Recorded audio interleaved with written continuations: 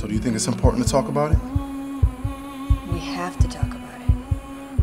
I mean, yeah, but talking about it, does that give the situation more power? Does it keep the issue alive?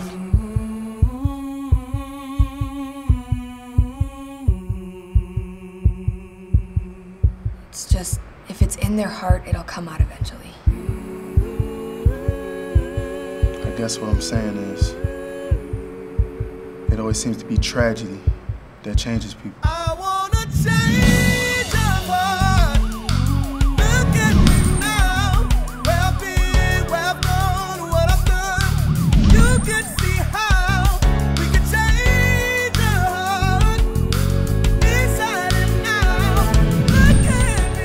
Shouldn't take something tragic to change a heart.